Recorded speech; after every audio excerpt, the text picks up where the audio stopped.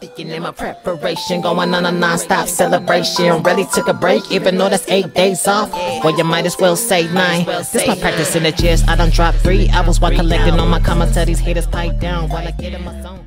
I'ma say what I gotta say and speak my mind, cause you know I ain't really worried about all that First Amendment freedom of speech and some more because they just be trying to block your First Amendment anyway. So it's a cold situation. The internet censorship, the whole game. Man, entertainment at its finest. All I'm saying, music industry looking like the entertainment industry, but they all both crooked. You get what I'm saying? You dig what I'm saying? But you know, it's a lot of saying they don't want you to hear, or these celebrities can't say because you know.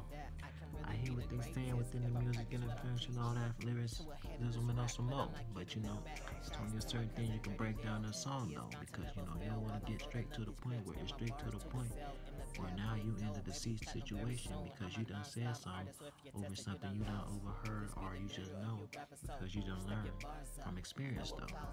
Cold situation, but that's the life we living right now. I just had to say what's on my mind though. What we say at my finest, that inspiration. Check out for that too because you know, never know what I might say though.